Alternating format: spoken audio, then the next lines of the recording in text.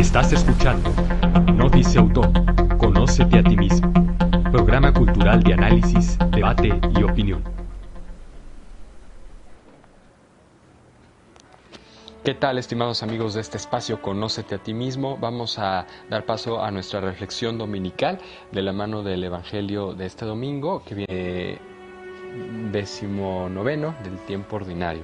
me encuentro aquí acompañado por nuestro analista en análisis de fe y razón, el padre Daniel Medina Ordaz. ¿Cómo está, padre? Bien, gracias a Dios. Buenos días. ¿Cómo ha estado, Ricardo? Gracias a Dios. Bien, padre. Una vez más aquí nos encontramos y pues si, si le parece bien vamos a, tomar eh, lectura del Evangelio para de ahí hacer una reflexión de vida que nos ayude en nuestro caminar diario a, pues, a ser mejores personas, a crecer en la fe. Estimado Radio Escucha, los saludamos al celebrar la fiesta de San Lorenzo, diácono y mártir, y nos preparamos así para alimentarnos de la palabra de Dios en este día del Señor, Dies Domini, día de la resurrección y de recreación familiar. Del Santo Evangelio según San Lucas. Gloria a ti, Señor Jesús. En aquel tiempo Jesús dijo a sus discípulos, no temas, rebañito mío, porque tu Padre ha tenido a bien darte el reino. Vendan sus bienes y den limosnas. Consíganse unas bolsas que no se destruyan y acumulen en el cielo un tesoro que no se acaba, allá donde no llega el ladrón ni carcome la polilla, porque donde está su tesoro, ahí estará su corazón. Estén listos con la túnica puesta y las lámparas encendidas. Sean semejantes a los criados que están esperando a que su Señor regrese de la boda para abrirle en cuanto llegue y toque. Dichosos aquellos a quienes su Señor al llegar encuentre en vela. Yo les aseguro que se recogerá la túnica, los hará sentar a la mesa y él mismo les servirá. Y si llega a medianoche o a la madrugada y los encuentra en vela, dichosos ellos. Fíjense en esto. Si un padre de familia supiera que ahora va a venir el ladrón, estaría vigilando y no dejaría que se le metiera por un boquete en su casa. Pues también ustedes estén preparados, porque a la hora en que menos lo piensen vendrá el Hijo del Hombre. Entonces Pedro le preguntó a Jesús, ¿dices esta parábola solo por nosotros o por todos? El Señor le respondió, Supongan que un administrador, puesto por su amo al frente de la servidumbre, con el encargo de repartirles a su tiempo los alimentos, se porta con fidelidad y prudencia. Dichoso este siervo, si el amo a su llegada lo encuentra cumpliendo con su deber. Yo les aseguro que lo, que lo pondrá al frente de todo lo que tiene. Pero si este siervo piensa, mi amo tardará en llegar, y empieza a maltratar a los criados y a las criadas, a comer, a beber y a embriagarse, el día menos pensado y a la hora más inesperada, llegará su amo y lo castigará severamente y le hará correr la misma suerte que a los hombres desleales. El siervo que, conociendo la voluntad de su amo, no haya preparado ni hecho lo que debía, recibirá muchos azotes, pero el que sin conocerla haya hecho algo digno de castigo, recibirá pocos. Al que mucho se le da, se le exigirá mucho, y al que mucho se le confía, se le exigirá mucho más. Palabra del Señor. Gloria a ti, Señor Jesús. Y bien, Padre, pues nos enfrentamos aquí a una situación, eh, la que nos ejemplifica este Evangelio eh, cotidiana, que es eh, cómo hacemos uso o administración de los talentos y de los bienes que tenemos, que Dios nos ha dado, que nos da día con día. Aquí este pasaje es muy similar a aquel otro de, de los siervos, ¿verdad? Aquellos que manda, eh, pues, negociar con los talentos y aquel que se queda solo con uno y, y, lo esconde en un pañuelo, etcétera, ¿no? Nos hace muchas referencias el Señor para hacernos entender que qué importante es, pues, dar fruto hacer rendir lo que tenemos, lo que Él nos ha dado, lo que vamos conquistando. Y importante también eh, lo que nos dice al principio, ¿verdad? No acumular tesoros en esta tierra, eh, poner nuestras seguridades humanas en, en medios, en aspectos materiales, eh, en cosas eh, pasajeras porque pues, se acaban, ¿verdad? Se corrompen. El Papa Francisco también lo ha dicho por ahí en alguno de sus discursos familiares, de si yo no conozco a nadie que, que al morir pues se haya llevado todas sus fortunas, ¿verdad? Todas sus posesiones. Y qué importante es vivir en lo esencial, en, en, sabiendo a quién le debemos de dar cuentas, que es a Dios, y sobre todo considerar que somos administradores de todo, ¿verdad? Dichoso el pueblo escogido por Dios para administrar la multiforme gracia de Dios en el pueblo de su heredad. Sí, recuerda esta hermosa anécdota del Papa, dicho, como le decimos en nuestro común argot popular.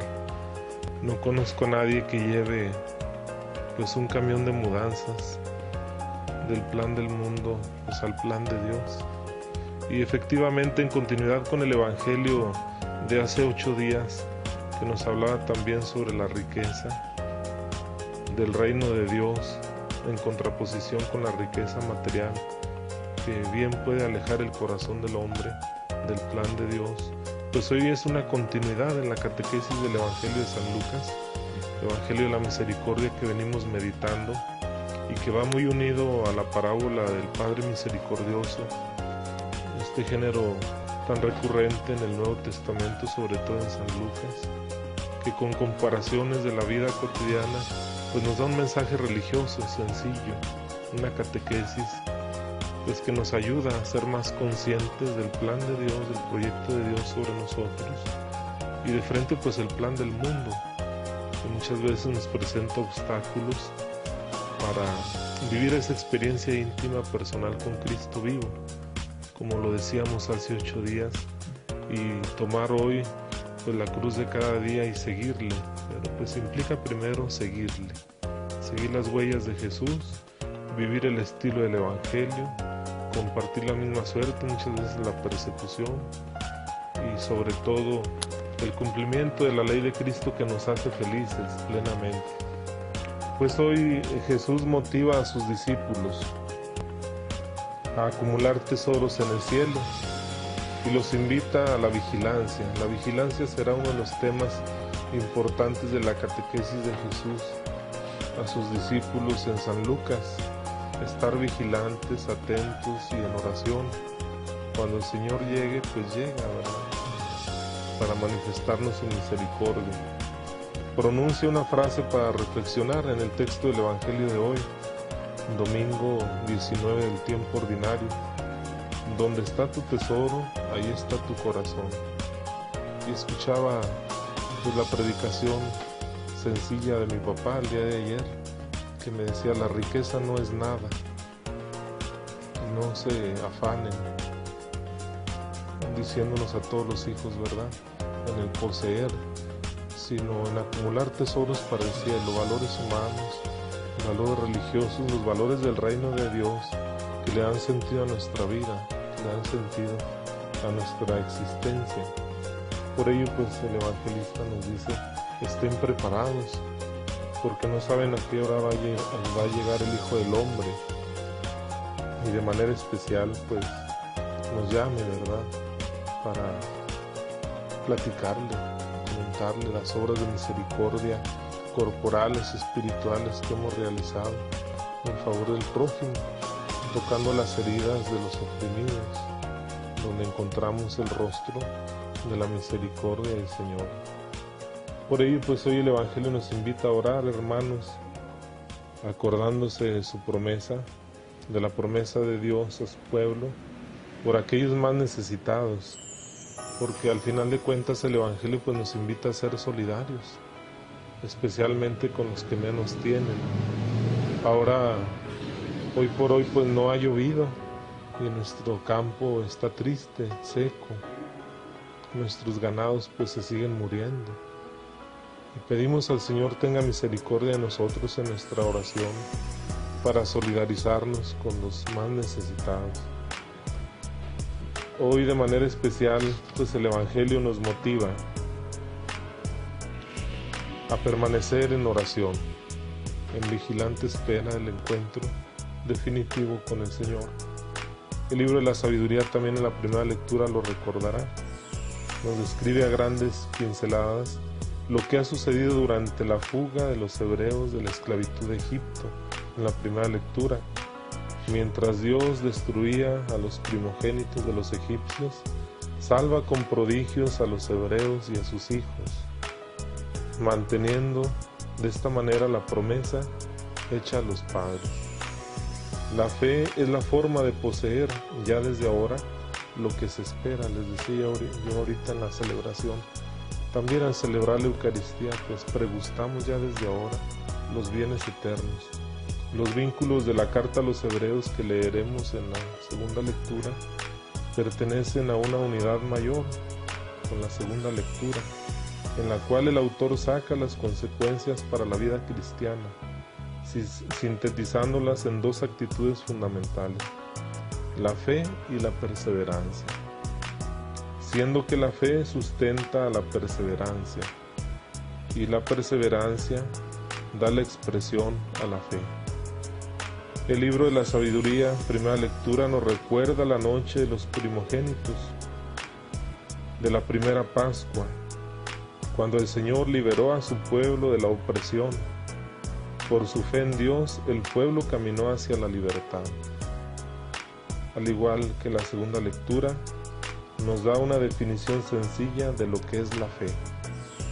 Es la forma de poseer ya desde ahora lo que se espera y de conocer las realidades que no se ven materialmente, pero que son importantes para el reino de los cielos. Pues conclusión, aspirar a los tesoros del cielo.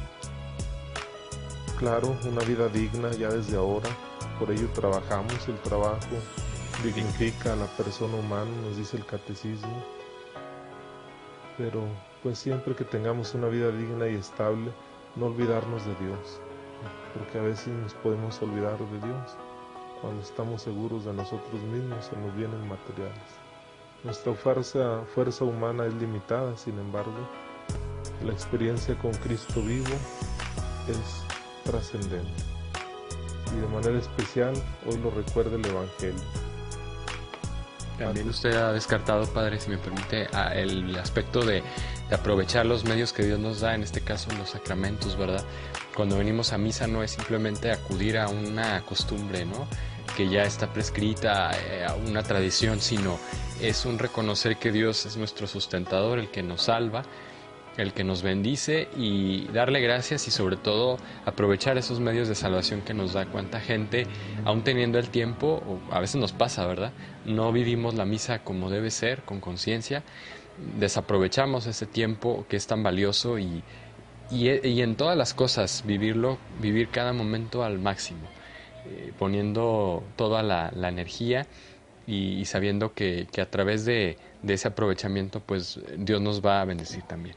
Claro, nuestra fe surge por la predicación de la palabra. Jesús nos invita a ser oyentes de la palabra para fortalecer, nutrir nuestra vida espiritual, que nos hace nutricios en el servicio alegre de los hermanos y a la solidaridad con los pequeños del mundo. Jesús nos mira con ternura, llamándonos por nuestro nombre, para ser sus amigos, permanecer en vigilante espera del encuentro definitivo con el Señor en oración sobre todo. Pues hoy damos gracias a Dios porque nos permite llegar un nuevo día. Deseo a todos que tengan excelente domingo, día del Señor, día de la resurrección. Los esperamos en la Eucaristía y de manera especial gocemos del encuentro con el Señor resucitado. Muchas gracias, Padre Daniel Medina Ordaz, analista de este espacio. Gracias a todos por su atención. Esperamos sus comentarios. Recuerden que estamos transmitiendo este podcast. Es para todos ustedes y desde YouTube pueden suscribirse al canal, activar la campana de notificaciones para que estén al pendiente de nuestros contenidos y compartan también esta información para que llegue a más y más personas. Gracias y hasta la próxima.